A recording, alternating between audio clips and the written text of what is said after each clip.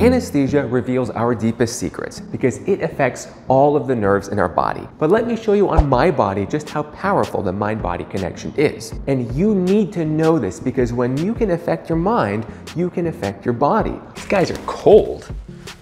Whew.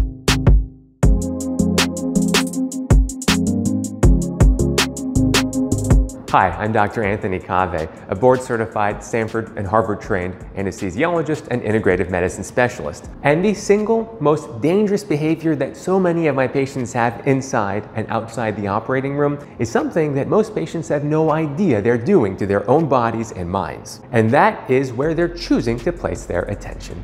I'm not blaming any patients, but self-prophesizing and fortune-telling is so common in my patients before surgery and is so detrimental to their health. They're literally taking their own body apart without knowing that they also have the antidote to those cognitive distortions. It's where we choose to place our attention and what anesthesia reveals about our potential to heal ourselves. And stick around, because I'm gonna connect myself to the life support monitors to demonstrate just how much power our thoughts and mind have over our health and physical bodies. Anesthesia reveals our deepest secrets because it affects all of the nerves in our body. Every last inch of nerve in our body is being affected by anesthesia, whether it's liquid anesthesia like propofol, lidocaine, ketamine, or inhaled gas anesthesia like laughing gas or other anesthesia gases like the ones that come out of the ventilator behind me. Those nerves are not only in our brain to make us unconscious, but our kidneys, livers, blood vessels, lungs, everywhere in your body is affected by anesthesia. And that's why we have these life support monitors,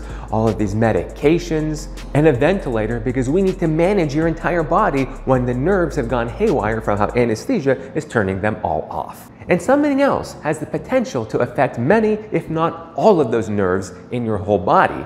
And it doesn't require a ventilator or propofol or ketamine. And that's the thoughts, verbalized or not, that are running through your brain how we choose to react to the events that happen around us and to our body. And this is why our attention is the most valuable resource on the planet. Forget that Google and Meta and everyone else is trying to buy your attention because it makes them a lot of money. Your attention can also heal your body because you can decide where you want to place your attention. When my patients come into the operating room and come on the table like you see here, and they're already telling me, hey doctor, I always have more pain than other patients, so give me more pain medication. Or, doctor, I always wake up nauseous, so give me more nausea medication. This primes their brain to communicate with their body to actually wake up potentially with more nausea or wake up with more pain. We call this fortune telling and prophesizing because you can't predict the future, but when you begin to set up expectations, you're priming your body to actually play out what you think is going to play out for good or for bad health outcomes.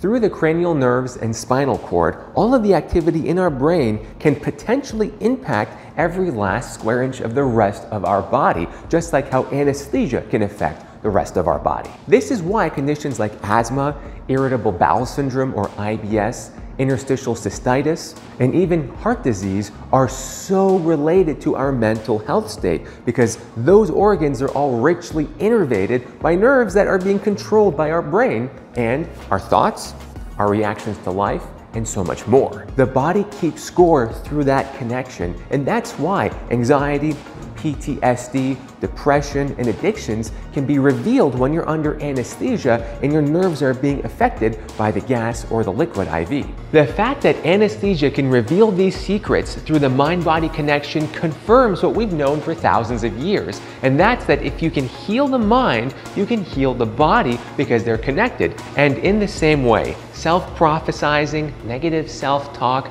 our choice and how to react to the events that happen around us and to us, also take advantage of that same mind body connection for good or for bad. So when my patient already tells me that they're going to have pain and want to know how I'm going to fix it, they have already begun strengthening the connection between their mind to feel more pain in their body after surgery.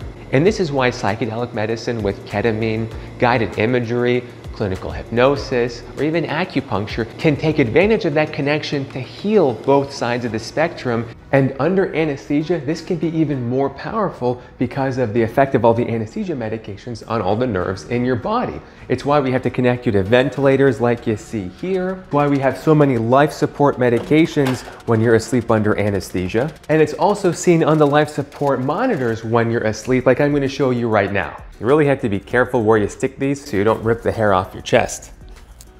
These guys are cold. Whew. I'm on the monitor right now. In green is my electrocardiogram or EKG.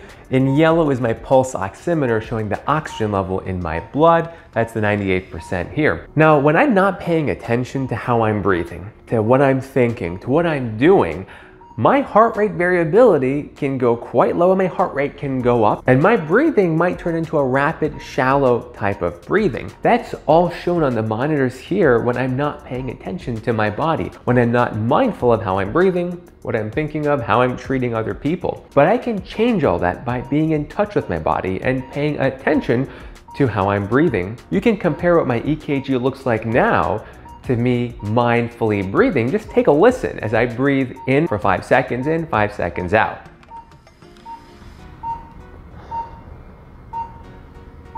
You can immediately see the change in the EKG as I breathe mindfully, as I focus on what I'm paying attention to, as opposed to being distracted or when I'm not aware of the thought patterns that might be looping around in my mind. Because of the mind-body connection, that cranial nerve 10, the vagus nerve in particular, what I'm thinking up here actually plays out on the monitor over here. You see how the distance between these here is very different than the distance between these here? That's heart rate variability. That's mindful breathing. That's choosing where to place your attention in your body. And you have more power over that than you've probably ever been told.